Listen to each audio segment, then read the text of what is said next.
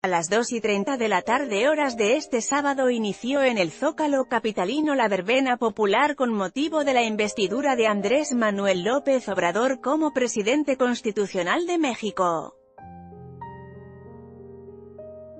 De acuerdo con el programa, se contará con la actuación de 12 grupos de música y danzas tradicionales, 12 números musicales y 5 cantantes de lenguas originarias.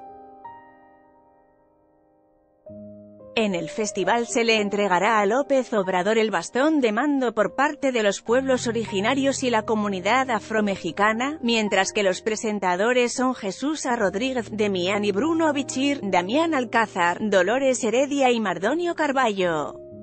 El elenco del festival incluye a la banda de niños de Tlaxiaco, Oaxaca, para chicos de Chiapa de Corzo, Chiapas Cúrpites, viejitos y aguadoras de Michoacán, chinelos de Morelos, pastoras de Querétaro, diablos. De Teloloapan, Tigrada de Chilapa y Toro de Petate, de Guerrero, Fariseos y Seris, de Sonora, Mujeres Nahuas, de la Ciudad de México, así como Jarochos de Veracruz, entre otros.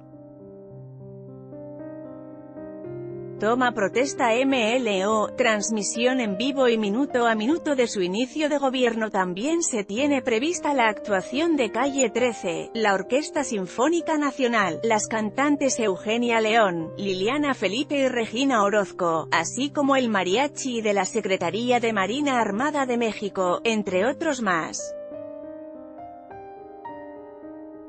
Se estima que alrededor de 55.000 personas se encuentran en la plancha del Zócalo capitalino, donde el presidente Andrés Manuel López Obrador ofrecerá un discurso y, al término, se llevará a cabo una verbena popular. La Secretaría de Seguridad Pública de la Ciudad de México precisó que el jefe de gobierno, José Ramón Amieva y el titular de la dependencia, Raimundo Collins, supervisan las acciones para garantizar la seguridad de los asistentes. AMLO protesta como nuevo presidente de México, inicia la cuarta transformación, alrededor de 55.000 personas se encuentran en la plancha del Zócalo capitalino.